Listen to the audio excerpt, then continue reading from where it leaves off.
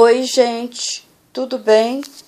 Hoje eu vim aqui não para falar de livros de colorir, mas para falar de um livro que eu li da Kefra Bushman, Muito Mais Que Cinco Minutos, lançado em agosto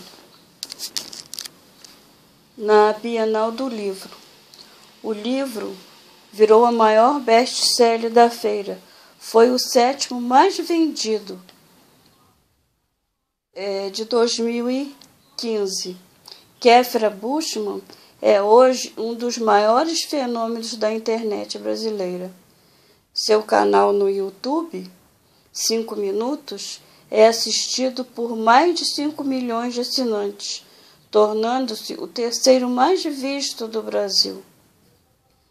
Kéfera ficou conhecida por dizer o que pensa de uma sinceridade chocante e sem papas na língua.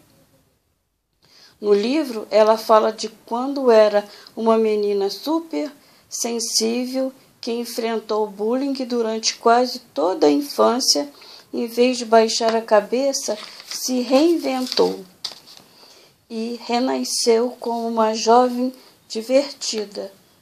Não leva desaforo para casa.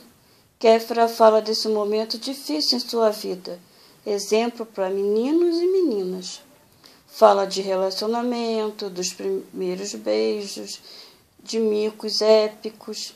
E Kefka já tem planos para escrever seu segundo livro, ou melhor, já começou a escrever.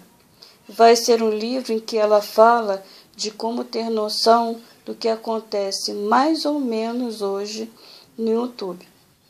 Se você quiser começar um canal. Bom, gente, é isso. Leiam o livro. Obrigado por ter assistido até aqui e não deixem de curtir aqui embaixo e me sigam. Beijos.